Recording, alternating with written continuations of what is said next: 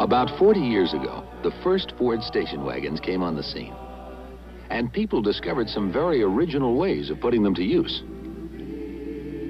Like absconding with the mascot of your arch rival.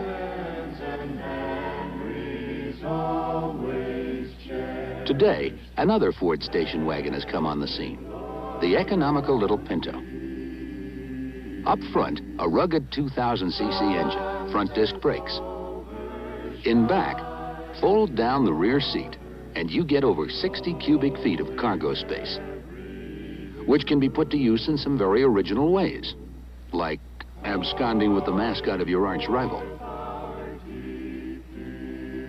The Pinto wagon. It's a basic economy car that carries a lot. It's a Ford wagon that costs very little.